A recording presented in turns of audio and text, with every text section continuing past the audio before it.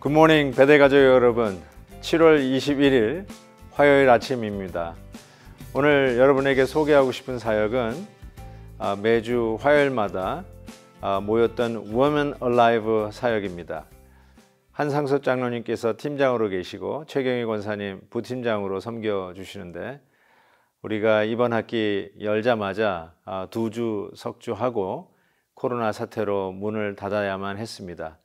얼반 인근 지역에 살고 계시는 우리 여성들을 위해서 말씀 읽는 여자, 말씀대로 사는 여자 이런 모토 아래서 한 100여 명, 200명 가까이 모여서 어, 매주마다 말씀으로 함께 격려하고 나누고 기도하던 아주 귀한 모임인데 어, 함께 모이지 못해서 정말 안타깝습니다. 아마 코로나 이후로 이 우먼 얼라이브를 어떻게 해야 되는지 어, 좀더 긍정적이고 더 발전적인 아, 생각을 하면서 아, 대처를 해 나가려고 합니다. 아, 주로 우리 가정주부로 또 가정을 지키는 우리 여성분들 주님의 이름으로 격려해 드리면서 이 코로나 숲을 말씀으로 잘 뚫고 가는 믿음의 여성들로 우리 하나님 축복해 주시기를 간절히 바랍니다. 오늘 함께 나눌 말씀은 이사야 8장 9절에서 22절까지의 말씀입니다. 9절 10절 먼저 읽어 드립니다. 너희 민족들아 함성을 질러 보아라. 그러나 끝내 패망하리라. 너희 먼 나라 백성들아 들을지니라. 너희 허리를 동이라. 그러나 끝내 패망하리라. 너희 허리에 띠를 띠라. 그러나 끝내 패망하리라. 너희는 함께 계획하라. 그러나 끝내 이루지 못하리라. 말을 해 보아라. 끝내 시행되지 못하리라. 이는 하나님이 우리와 함께 계심이라. 19절을 읽겠습니다. 어떤 사람이 너희에게 말하기를 주절거리며 속사, 속살 거리는 신접한 자와 마술사에게 물으라 하거든 백성이 자기 하나님께 구할 것이 아니냐 산자를 위하여 죽은 자에게 구하겠느냐 하라 마땅히 율법과 증거의 말씀을 따를지니 그들이 말하는 바가 이 말씀에 맞지 아니하면 그들이 정령 아침 빛을 보지 못하고 이 땅으로 헤매며 공고하며 굶주릴 것이라. 그가 굶주릴 때에 격분하여 자기의 왕과 자기의 하나님을 저주할 것이며 위를 쳐다보거나 땅을 굽어 보아도 환란과 흑암과 고통의 흑암뿐이니 그들이 심한 흑암 가운데로 쫓겨 들어가리라. 아멘. 오늘 말씀을 읽으면서 떠오르는 어, 시편 말씀은 127편 말씀입니다. 여호와께서 집을 세우지 아니하시면 집을 세우는 자의 수고가 헛되고 여호와께서 성을 지키지 아니하시면 성을 지키려고 하는 아, 파수꾼의 경성함이 깨어 있음이 허사라고 말씀하셨던 바로 그 대목이 자꾸 떠오릅니다. 오늘 하나님의 말씀에서 어, 이렇게 어, 이방 나라들 향해서 어, 도전을 하지 않습니까? 함성을 질러 보아라. 또 들을지어다 허리띠를 동이라. 허리띠를 띠라. 또 함께 모여서 계획해 봐라. 그러면서 계속해서 반복되는 말씀이 끝내 패망하리라. 끝내 패망하리라. 끝내 패망하리라. 여기에 어, 우리 삶의 승패는 절대적으로 하나님의 손에 달려 있다라고 말씀하는 것입니다. 보이지 않는 하나님. 그래서 우리는 마치 안 계신 것처럼 착각할 때가 많이 있지만 실질적으로 우리의 집을 짓고 계시는 분도 하나님이시고 우리가 지키고 싶어 하는 소중한 것도 하나님이 지키지 아니하시면 우리가 지키겠다고 밤을 새워도 허사라고 말씀하시는 그 맥락에서 오늘 말씀이 이해가 되어집니다.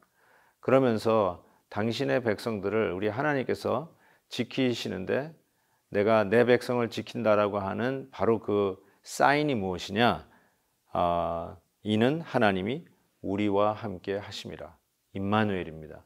계속해서 이 임마누엘의 주제가 아, 이사야 선지서에 아, 계속 맥을 이어서 나아가고 있습니다. 아, 사랑하는 성도 여러분, 보이지 않는 하나님이시기에 때로는 우리는 어려움을 당할 때 보이는 인간들과 보이는 것들을 의지하려고 하는 습관들이 얼마나 많이 있습니까? 아, 그래서 어, 하나님을 믿는다고 하는 신앙 고백이 있음에도 불구하고 어, 위기가 닥치면 정말 결정적인 순간에는 하나님의 말씀을 붙들고 그분을 의지하기보다는 곁길로 가는 경향이 우리에게 있음을 솔직하게 고백합니다. 우리의 약점이죠. 우리의 연약함이고 어, 시공 안에 갇혀져 있는 제한된 우리의 연약함을 여실하게 볼 수 있을 것입니다. 그러면 그렇지만 하나님께서는 계속해서 이 믿음의 도전을 우리에게 아, 주고 계십니다. 과연 네가 보이는 것들보다 보이지 않는 나를 믿을 것이냐?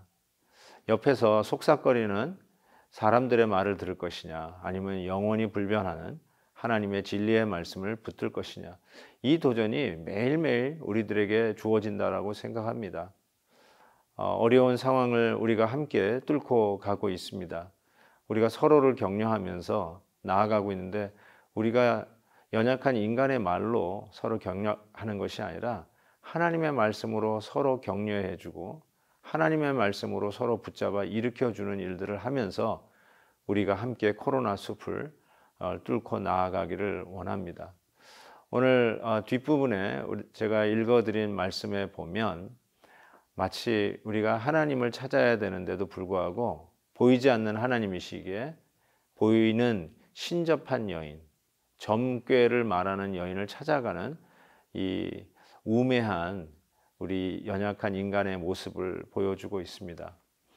어, 제가 실질적으로 보지는 못했지만 그런 말들 많이 하더라고요. 주일 예배 드리고 어, 한국에서는 돌아가는 길에 점집에 들려서 점괘를 보고 가는 사람들이 그렇게 어, 참 흔하다고요. 깜짝 놀랄 일이죠. 아직도 어, 보이지 않는 하나님, 나의 하나님, 나의 능력자, 전능하신 하나님, 모든 것을 창조하시고 어, 없는 것을 있게도 하시고 있는 것을 없게도 하시는 무에서 유를 창조하신 그 하나님을 믿는다고 신앙 고백을 함에도 불구하고 막상 어려움이 닥치면 눈에 보이는 어, 참 이런 어, 가현적인 그런 것을 쫓아가다가 마치 무지개를 쫓아가다가 망연자실하는 모습처럼 우리가 실망하고 넘어질 때가 얼마나 많이 있습니까? 오늘 말씀은 어, 바로 그러한 상황 속에서 주신 도전의 말씀이라고 생각합니다. 사랑하는 성도 여러분, 우리 말씀을 붙드십시다. 보이지 않는 하나님을 더욱더 신뢰하십시다. 혼자 하기 힘들기에 우리 베델이라고 하는 공동체가 있지 않습니까? 서로 격려해 주십시다. 음, 여러분들에게 숙제 하나 드리겠습니다. 한 번도 이번 코로나 상황 속에서 우리 성도들을 향해서 격려를 한 번도 해본 적이 없으시면, 어, 의도적으로 해보신 적이 없으면 오늘 꼭 한번 의도적으로 어, 우리 사랑하는 성도들을 격려하고 세우는 격려자가 되었으면 좋겠습니다.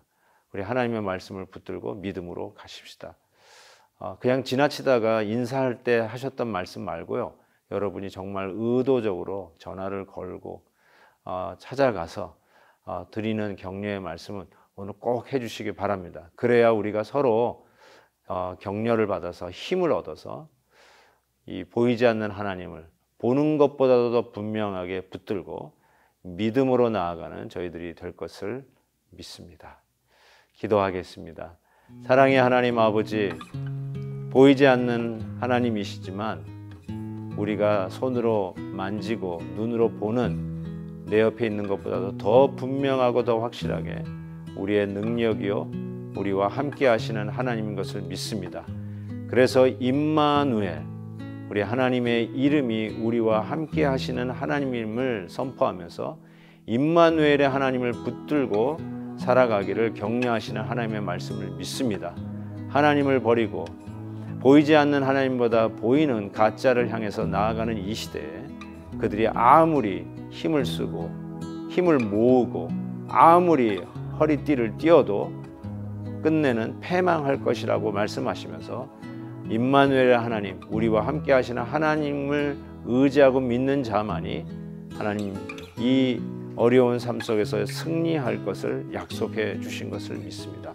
오늘도 우리가 피차 믿음으로 서로 격려하며 나누는 저희들 되게 해주시고 어, 우리가 주위에 얼마나 격려가 필요한 자들이 많은데 어, 전화 한 통화라도 따뜻한 말 한마디라도 우리가 믿음으로 격려하며 오늘 하루도 어, 베델의 공동체로 인하여 함께 이 귀한 격려의 말씀을 나누는 믿음의 권속들로 인하여 어, 넉넉히 이기는 하루 되도록 축복해 주시옵소서.